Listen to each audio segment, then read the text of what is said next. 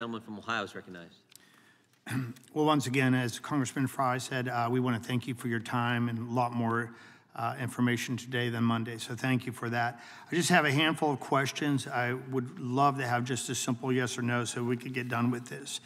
So on day one, President Biden issued an executive order mandating DEI programs in the executive branch. You responded by hiring FBI's first ever chief diversity officer.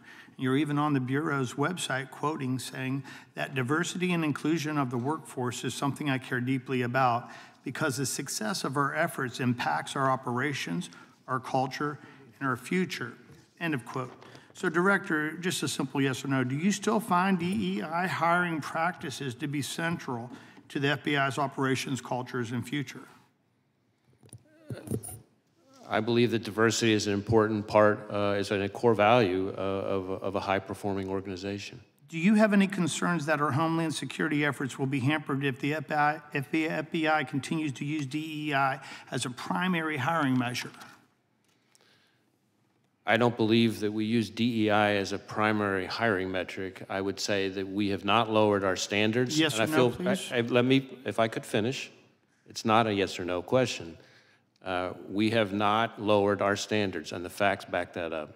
Are you aware of a 112-page report compiled by senior agents and analysts which stated, quote, "If the current trajectory of the FBI special agent recruitment and selection continues, using DEI as the primary and sole measure of our homeland security efforts will be significantly hampered." Do you know about that 112-page report? I, I'm aware of a report uh, from a number of anonymous uh, former employees.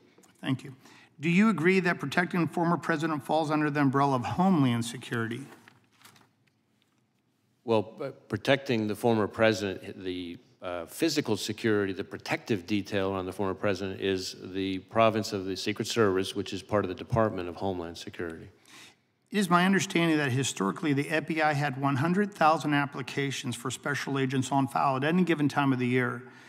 So, talking about slipping recruitment, are you aware that on February of 2024, a letter from the FBI's Assistant Director for Training Division, which reported that FBI only received an estimated 48,000 applications over a two year period?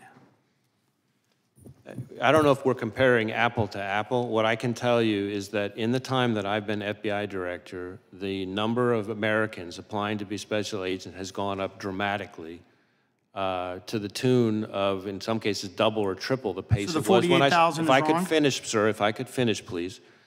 To a rate that is higher, you'd have to go back about a decade or so to find the number of Americans applying to be special agents that are currently applying. Okay, so for the record, that 48,000 is probably wrong then in your eyes? I, I don't know, I haven't, I don't have the letter in front of me, but I'm, what I'm not sure of is that, that we're comparing apple to apple in terms of time periods and everything else. In advance of the Trump shooting, United States Secret Service Special Agent in charge Tim Burke reportedly told law enforcement partners that NATO summit in Washington, D.C. limited his resources available to the Trump rally. The service has similar DEI hiring aims and failed their zero fail mission to protect President Trump. Director Cheatle has since stepped down.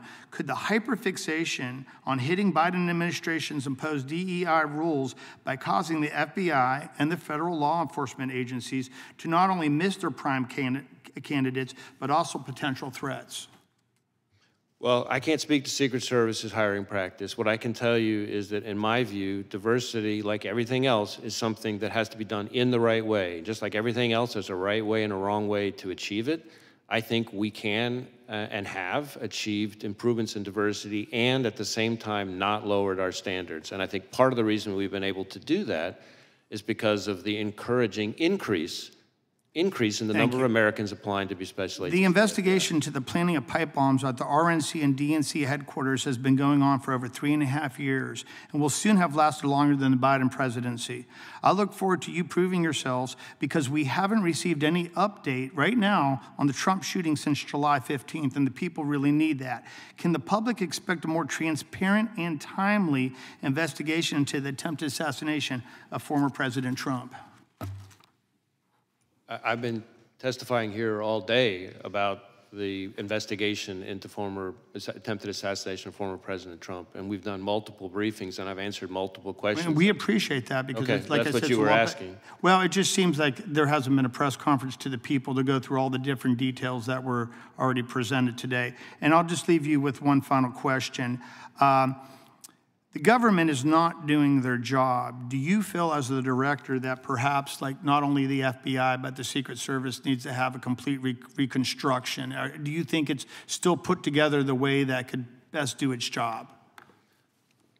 The FBI that I see every single day, having visited all 56 of our field offices at least twice, many of them three times, the FBI that I see engaging with state and local law enforcement from all 50 states, that I hear about from prosecutors, judges, business leaders, community leaders, foreign partners, is an FBI that is respected, trusted, appreciated, and that is there for people when they need them the most. And that is the FBI that I see, and I'm very proud to be a part of them. Any comment on um, the other agencies? Uh, and I'm not going to comment on other agencies. Appreciate your time, sir. Yield back to the chair.